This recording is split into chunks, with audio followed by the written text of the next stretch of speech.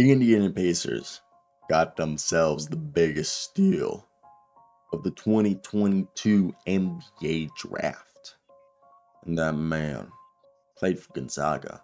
But I'd be lying if I said he just played for Gonzaga in college. Andrew Nembhard a guy who slipped to the second round, was the first pick in the second round only because he was too old at 22 years old because he played a few seasons at Florida and finished it up at Gonzaga. Now, the Canadian Andrew Nembhard is a guy that you shouldn't be surprised who's having success. He was one of the better players in college basketball, playing alongside Tyrese Haliburton over here. Andrew Nembhard literally big dog Steph Curry.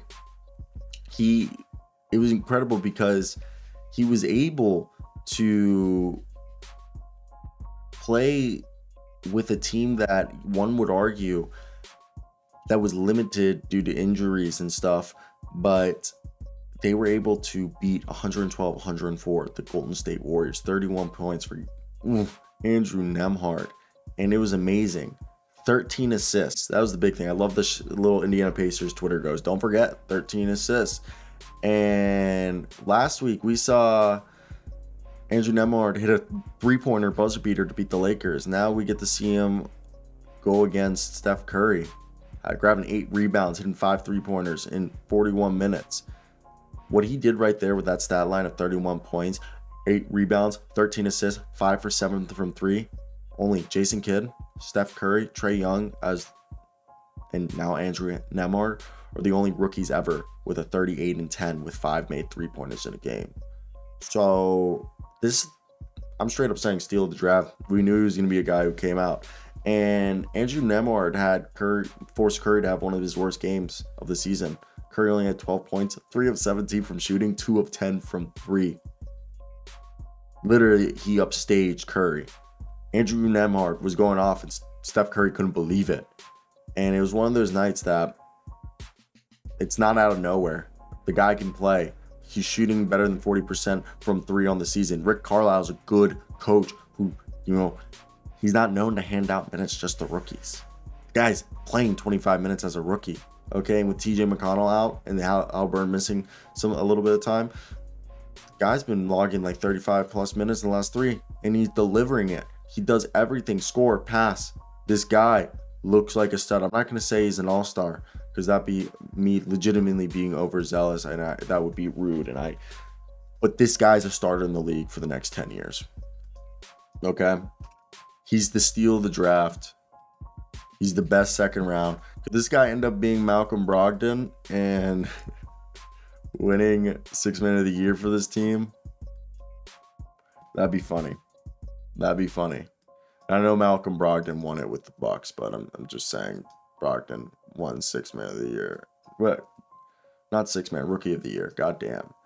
As a second round pick. So that's something that could happen, and we can all agree that'd be so cool.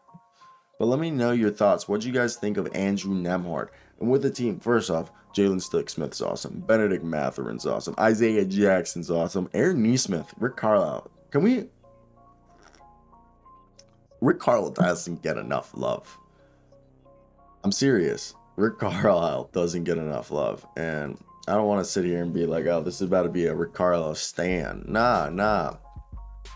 I think this is just us sitting here and being like, hey, we're aware that people kind of took a crap on his his perceived perception after he left Dallas, but I think he's a lot better than what people remember him. And I think when you look at a team like the Indiana Pacers, they're a team that's surprising a lot of people, okay, with their play. And maybe that does turn around at some point, but they're probably the 20th best team. And with this team being now improving, they're above 500.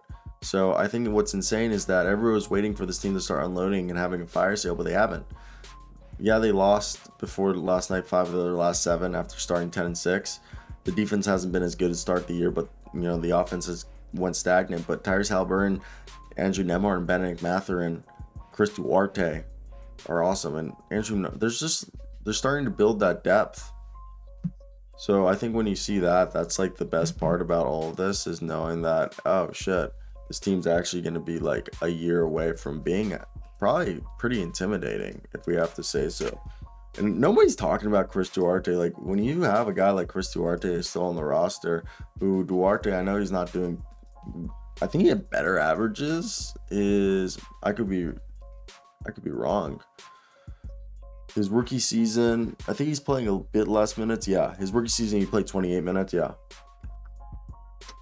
I think it's a little bit the defense is what kept them off the floor. Plus, Duarte, I know has struggled. Someone tell me, hasn't he missed some time with injury? I could I could be 100% wrong, but 95% sure that he's been out with an injury. Yeah, and I just wanted to make sure I knew he was out with injury, but and that's part of the reason. He, yeah, it was a sprained ankle. I didn't realize it's been that long. I'm done. Bye.